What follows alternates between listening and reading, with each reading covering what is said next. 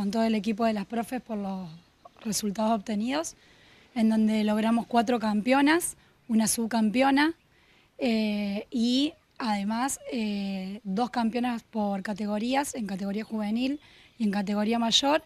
Y aparte, en el provincial se, hacen las, se destacan las campeonas por aparatos, en donde Gimnasia Artística tiene cuatro aparatos y nosotros dentro de eso logramos ocho campeonas en los aparatos.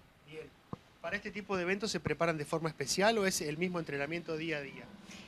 Eh, no, eh, es realmente un entrenamiento bastante fuerte. Eh, lo empezamos de principio de año buscando el objetivo de llegar al Nacional, que realmente se logró.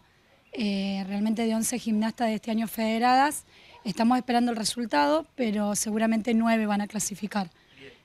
Eso va a depender de los gastos, si pueden ir las 9 o no, pero bueno, el objetivo se cumplió eh, lo importante que vamos a tratar de ir, porque es en Mendoza, capital, eh, en diciembre, y bueno, esperando que se pueda concretar eso, que es importante. Este fin de semana hacemos el encuentro regional de escuelita, en donde es en tiro federal, eh, hay 270 gimnastas inscriptas, en donde van a participar todos los clubes de la zona, Porteña, Brinkman, Sunchales, eh, Piscis, acá de Morteros, así que realmente estamos felices. Tenemos en Escuelita alrededor de 100 gimnastas, estamos armando un equipo precompetitivo para el año que viene, ver si podemos incluir más.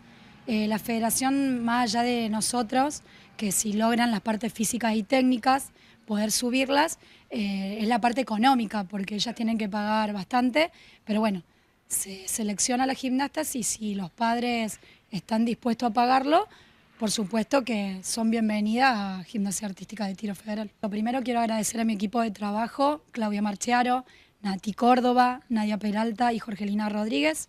Sin ellas esto no se lograría. Eh, los padres de la subcomisión porque realmente eh, estos viajes cuestan eh, organizarlos, ir todo el día, a veces son dos días. Y por supuesto Tiro Federal que está siempre con nosotros.